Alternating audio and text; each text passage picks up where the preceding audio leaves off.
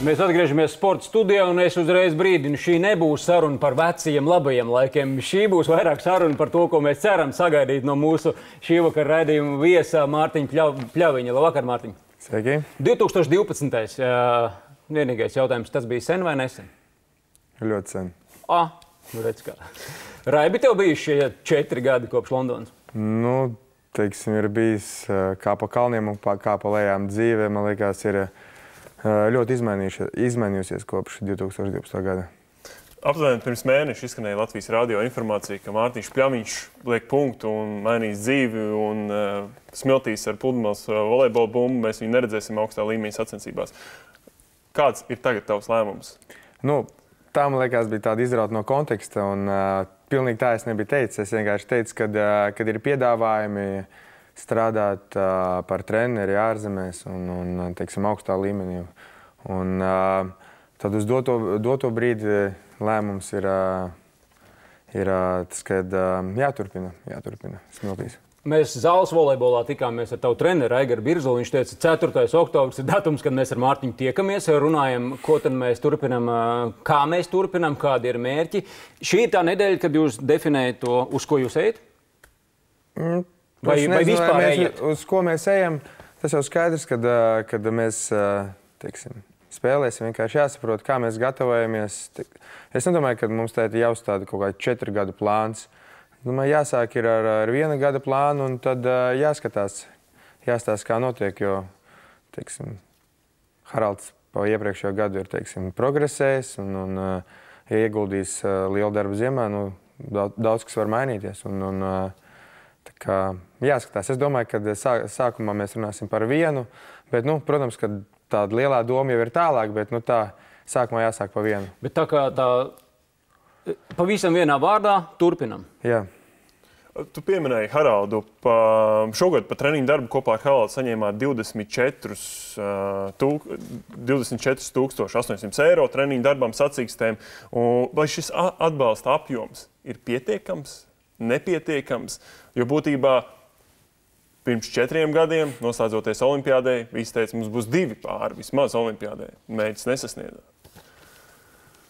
Jā, nu, runājot par atbalstu, tas ir um, ļoti liels atbalsts. Un, un, um, es ne, neteikšu, ka viņš visu pilnībā nosedz, bet, uh, protams, ka tas ir ļoti liels atbalsts. Un, uh, par to, ka nesasniedz mērķi, ka būs uh, teiksim, divas komandas Olimpijādē, noteikti bija bija pieļauts dažas kļūdas, gan, gan kā spēlētājiem, varbūt kaut kādas izvēles, teiksim, domstarpības. Nu, tas viss kopā noteikti neveicināja to, lai mums būtu divas komandas un, un, un bija tikai viena. Par ko pašam lielākais pārmetums sev? Tu saki, domstarpības vai kā? Viena pagala nedeg, bet par ko ir tava pagala? Nu, Man, nu, nu, protams, uz doto brīdi tas, ka netikām uz olimpiādi. Bet par to ilgtermiņā, par, par to, es nezinu, es esmu kaut kā jau to visu nolicis aiz un, un, un par to īpaši nedomāju, jo, ja teiksim, jā, aizdedzina vienu pagalu, tad aizdegās pārējās un, un, un tā kā es par to mēģinu nedomāt un skatīties uz priekšu. Armāns nosauc šo skaitli, gandrīz 25,000 eiro, kas ir Latvijas Olimpiskās vienības atbalsts taviem nu, jūsu treniņu un sacensību darbam. Uh, Kriteriji nav izpildīti. Protams, nav teikts, ka jūs paliksiet uz nulles nākamgad, bet vai, nu, piemēram, nu, uz pusi samazinot šo summu, jūs varat izdzīvot? Izdzīvot, nu. Trenēties, braukt pasaules, pasaules tūrē? Nu, jā, nu, noteikti nu, pirms sezonas kaut kur neaizbrauksim, sagatavoties vairāk tepat uz vietas, tur viegli lietiku. Noteikti kādu tālo posmu izlaidīsim. Un, un, es nezinu, nu, skatīsimies pēc, pēc iespējām, brauksim visur, kur varēsim. Un es domāju, ka, kad, ja mēs jutīsim, ka ir iespēja, tad varbūt kāpēc uz kaut, uz kaut kādiem posmiem varam aizbraukt arī noteikti no pa savu naudu. Un, un, un, nu tā, lai būtu iespēja izsisties un izsitīsimies, pierādīsim sevi un atkal viss būs kārtībā. Man, man iepatikās tā tēma par tām pagalēm un Jāņu ugunskura. Mēs tā iemetīsim četras pagaidas ugunskurā. Jānis Pēda 2013. gads, Aleksandrs Solovejs 2013. 2014. Hermans Egleskāns 2015. Un Haralds Reigžs 2015. un 2016. Šie ir visi tavi pārinieki. Jā. Tas jautājums ir par to, vai, vai tu pats sev kādreiz neesi uzdevis jautājumu, vai es tomēr neesmu baigā princese. Ne, neņem, nu, neņem ļaunā, bet nu, tā, nu, vai, vai arī nu, meklēs arī vainu sevī. Vai nē, vai nē, tomēr protams, tu spēji to atdalīt kaut kā? Nē, protams, ka uh, tur jau liela vaina bija noteikti manī, kad uh, ar, ar, es uzskatu, ka ar Jāni Pēdu nesanāca un ar Hermanu Egliskalnu. Jo, Kāpēc? Kāda?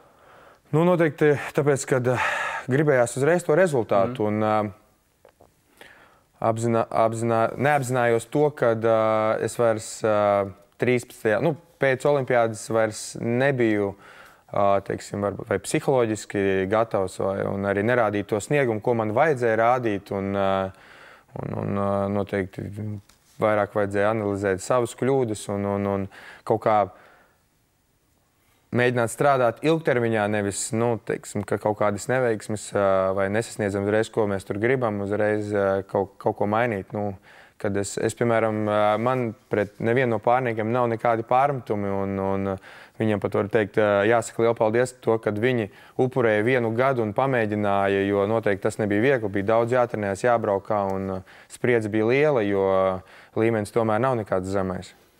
Uh. Skatāmies epizodes, nu, es nezinu, vai tās ir lielākās epizodes. Nu, lielākā jūsu uzvara pagājušajā gadā Eiropas spēlēs jūs vinējāt ar, ar, ar, ar Haraldu Reigšu. Bija pilns tribīns, bija viss skaisti izskaties par to līmeni. Mēs varam debatēt, un tas nav nemaz svarīgi, tas konkrētais turnīrs. Bet, bet Haralds, uh, kurās varbūt pozīcijās viņš ir progresējis un kur viņam varbūt ir jākļūst labākam? Jākļūst labākam. Es domāju, ka svaru zālē noteikti nu, vieglieti, kā tie ir jautājumi, lai, lai, lai, teiksim, leciens, lai viņš izmantot visu savu potenciālu lecienā, jo, teiksim, kā treneris saka, viņš nelec, viņš staipās. Nav varbūt pareizi tā tehnika vai kaut kas. Nu, tas ir darbs ziemā. Un otrs ir kad, eh, kad eh, psiholoģiski. Tāpēc, kad eh, tas, kad viņam grūti, to redz visa pasaule. Jā. Viņš to, viņš to izrāda, to redz visas to tribīnes, to redz pretinieki. Un, uh, viņš ļauj viņiem sajusties, ka nu, kad mēs varam. Jo citreiz pat, kad kļūdās, ja to neizrāda, man liekas, ka uh, nekas nav zaudēts mm. pēc pāris kļūdām. Nu, šis spilgtais uh, moments, ko mēs sākām mūsu interviju ar šo medaļu kaklā uh, pirms četriem gadiem, Un redzot šos rezultātus, kādi bijuši četru gadu ciklā, mans jautājums, ko tu gribi no pludmales volejbola turpmāk?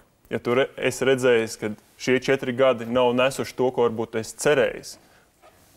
Nu, tas kā primārais, es gribētu uz Grēnslam finālu aizbraukt uz spēlēt, uh, kur ir tikai desmit labākās komandas pēc reitinga tiek. To es gribētu hm, četru gadu laikā uz turieni izsisties, jo es ticu, ka uh, kad mēs varam, Un, un uh, vienkārši noteikti man vairāk jāstrādā ziemā, jo es, es noteikti varu būt starp tiem aizsargiem. Un vienkārši mums ar Haraldu kaut kāds, nezinu, tās. Kā vairāk tie, jāpieturās pie kaut kādām taktiskiem zīmējumiem, kāds ievērojams savu, un, un tad es viņam vēl mēģinu palīdzēt. Es domāju, ka kad, kad viss sanāks. Jo, ja es tā ne, nedomāju, tad, tad nebūtu jēga, jēga turpināt.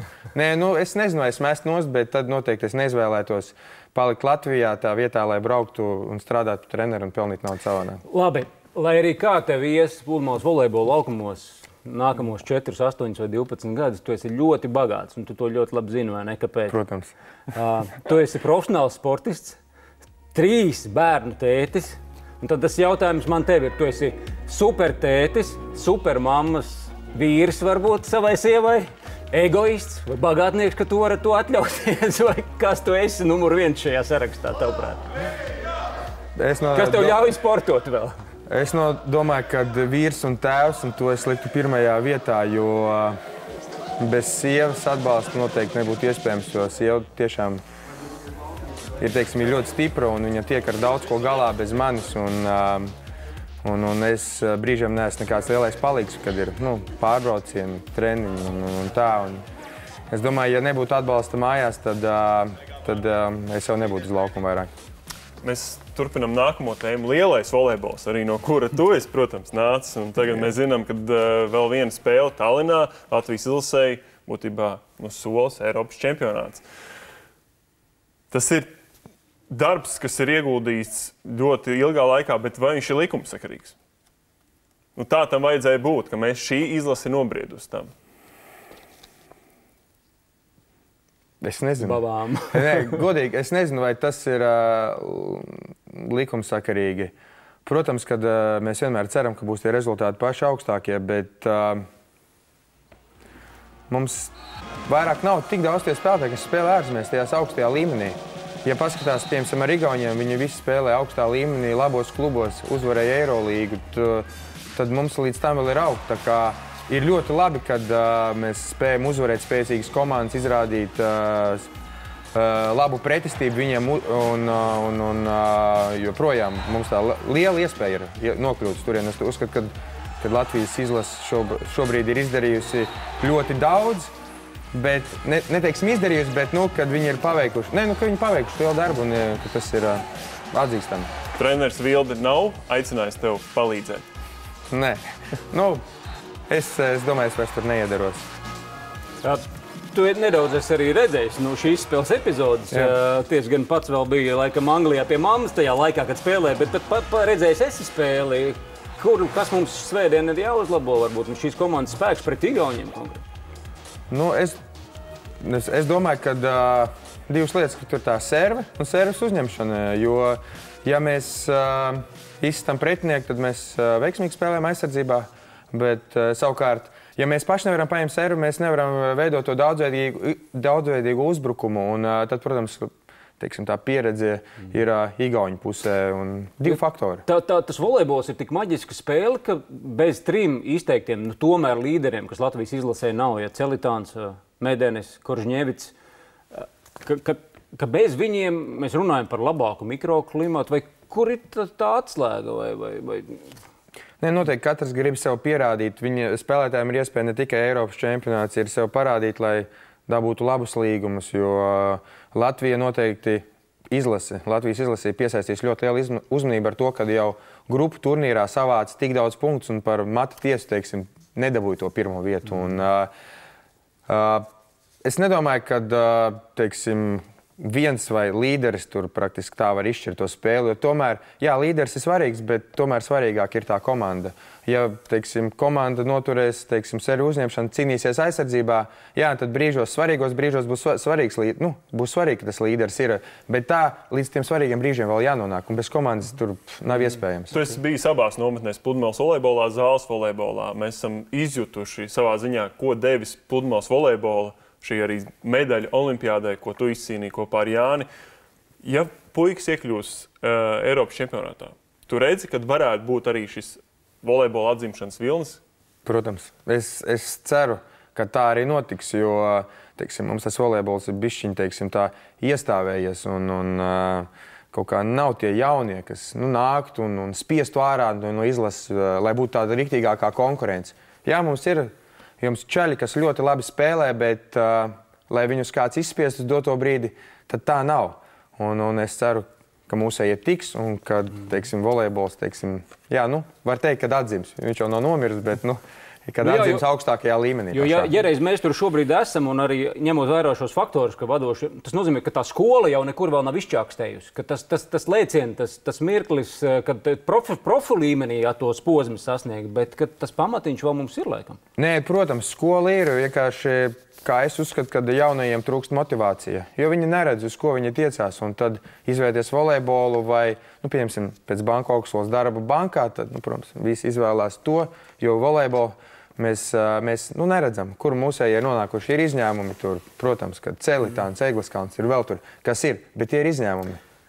Mārtiņ, viss, paldies. Turam īkšķi par mūsējiem. Turēsim nākamā sezonā jau īkšķi arī par jums atkal pludmales smiltīs spēli no Tallinas. Mēs rādīsim bez 10.5. LTV 7. Tā kā tiešraidē viss, kas nebrauks, ja nu kāds tiešām nebrauks uz Tallinu, tad, tad jūtam līdzi.